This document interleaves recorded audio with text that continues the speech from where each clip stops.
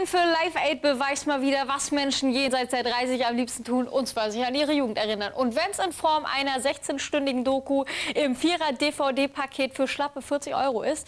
Ja, ich arbeite übrigens für das Jahr 2023 auch schon mal an einer Viva-Dokumentation mit den schönsten Chartmoderationen inklusive Bonusmaterial aus Regie, Maske und Styling.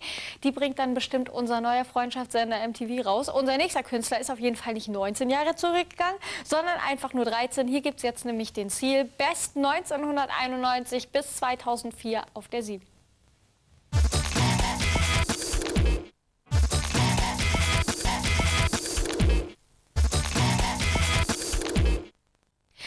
nochmal Greatest Hits, diesmal von Frau Twain und auf Platz 3, da lobe ich mir doch den Eminem. Als einziges Top-5-Mitglied hat er sich nämlich für sein aktuelles Album ins Studio bemüht und ein paar sehr, sehr hübsche Lieder hat er da drauf gepresst.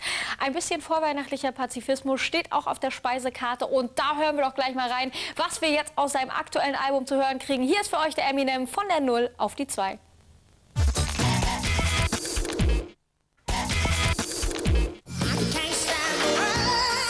Tina Turner steht immer noch ganz hoch im Kurs. Der Weihnachtsgeschenkekäufer, auch wenn All the Best von der 5 auf die 9 geht.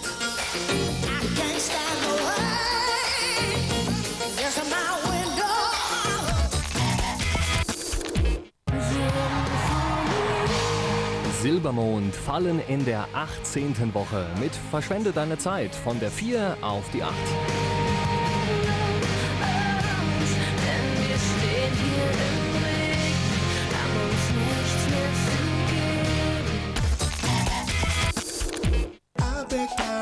Das neue Album von Seal gibt's im Sommer im Surround Sound. Das Best-of-Album von Seal entert im Weihnachtsgeschäft Platz Nummer 7.